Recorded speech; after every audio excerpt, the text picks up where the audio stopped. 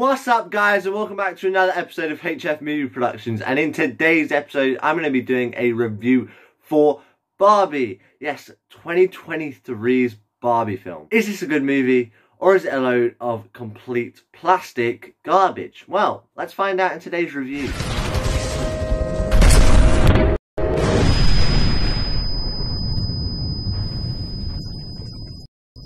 So, Barbie, the 2023 film directed by Greta Gerwig and stars the two great actors Margot Robbie and Ryan Gosling. This film is an adventure comedy fantasy film. It was released earlier this year and got pretty good reviews on IMDb. It got 7.2 out of 10.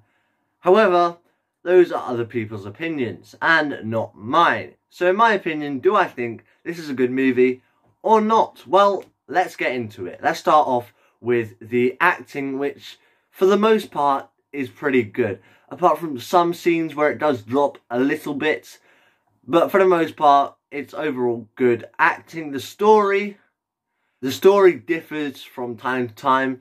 Yes, it's a solid story, but could have some more structure in there. So overall, it's a good, solid story. And then, of course, the film was casted very, very well. They've got Margot Robbie to play Barbie. And, of course, she is literally the perfect role for Barbie. And then, of course, you've also got Ryan Gosling as Ken, who also makes perfect Ken in this film. But just because you have some good casting, good acting, does this film still mean it's an overall good film? Well, I've got to be honest.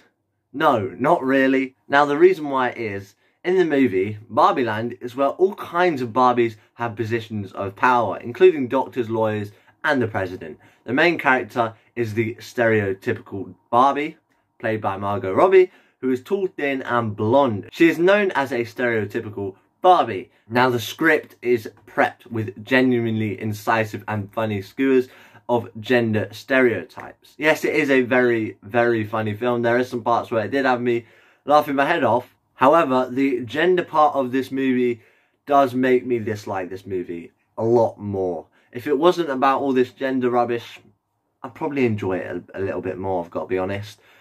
But they're making it out as if men were a, a bad people. That, that, I've got to be honest, they're making it out as we're the bad people and women have done nothing wrong. So it's just sort of pushing the boundaries a little bit there, but you know, it's no big deal at all, honestly. I just feel that it's being a bit, a bit cruel on that side of the film. However, as an overall film, I did enjoy this film.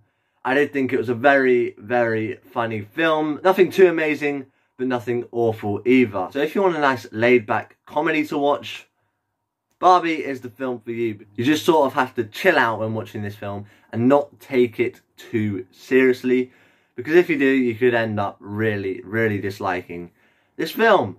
But yeah, that's my review for Barbie from 2023. I'm not going to go into the whole story because you can watch the film yourself and find that all out. But there you go. That's my review for Barbie from 2023. If you have enjoyed today's review, make sure you hit that like button and that subscribe button. Check down below for all different links such as Letterboxd and Vinted. And I'll see you guys in the next episode. Thanks for watching. Goodbye.